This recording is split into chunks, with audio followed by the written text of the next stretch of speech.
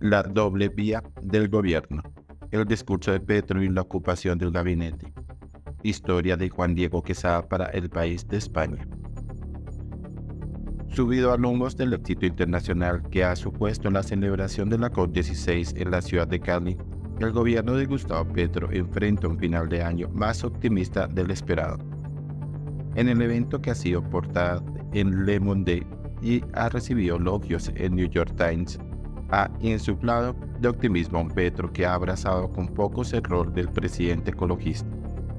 Sin embargo, Petro, que suele actuar como un agujero negro que atrae toda la atención hacia sí mismo, no ha apacado a otras figuras como la vicepresidenta Francia Márquez, el alcalde de la ciudad Alejandro Eder y sobre todo Susana Muhammad, la ministra de Ambiente y Desarrollo Sostenible que se ha convertido en uno de los principales activos del mundo petrista, por forma y fondo. El gabinete se ha engrasado en una manera que no había logrado hasta ahora, más de dos años después de su inicio. Aunque la convulsión alrededor de la investigación que inició contra del Consejo Nacional Electoral CNE por una supuesta financiación ilegal en su campaña ha bajado de intensidad, Petro no va a cambiar de idea le tratan de dar un golpe de Estado blando. Los miembros del gobierno a las órdenes del presidente no le contradicen, pero no han abrazado en su discurso. Creen a ciencia cierta que es hora de no polarizar ni buscar enfrentamientos, ya que creen que el proceso del CNE no tiene mayor recorrido.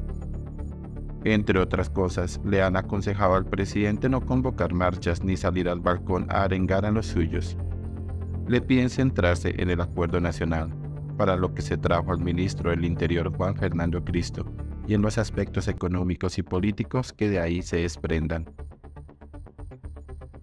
Alrededor del presidente se ha creado un círculo que trata de aterrizar sus ideas, a veces muy arriesgadas y ambiciosas por su condición de estudioso.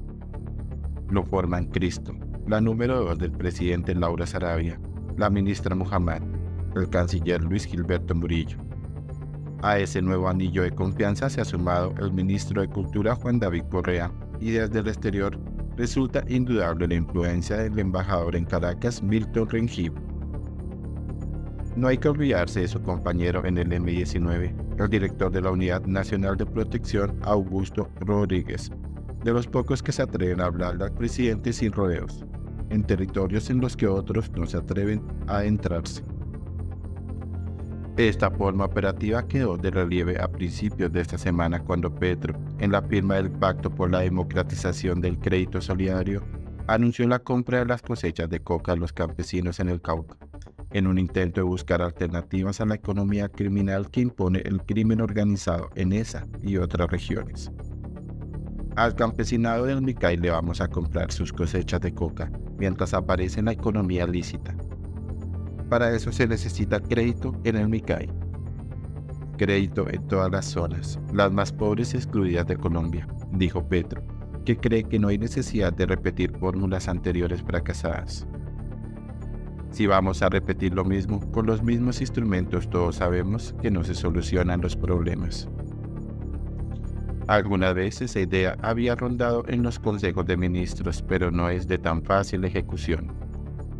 Cristo horas después explicó que esa iniciativa estaba en una frase temprana.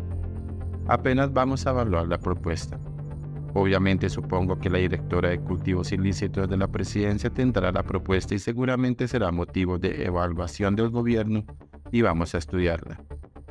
Esta no ha sido la única idea del presidente que sus ministros han venido a matizar después, con la realidad en la mano en Petro bullen ideas que superan la capacidad de ejecución del Estado. En cualquier caso, en Casa de Nariño reina un clima de menor confrontación que en épocas anteriores. De la sensación de que los asesores leen mejor a Petro y él también se encuentra más cómodo con la gente que ahora le rodea. En estos días se han filtrado cambios en el gabinete que parecen probables dentro de un tiempo, ya que varios ministros tienen aspiraciones presidenciales pero la dinámica de trabajo siempre con Sarabia en el radar no va a cambiar.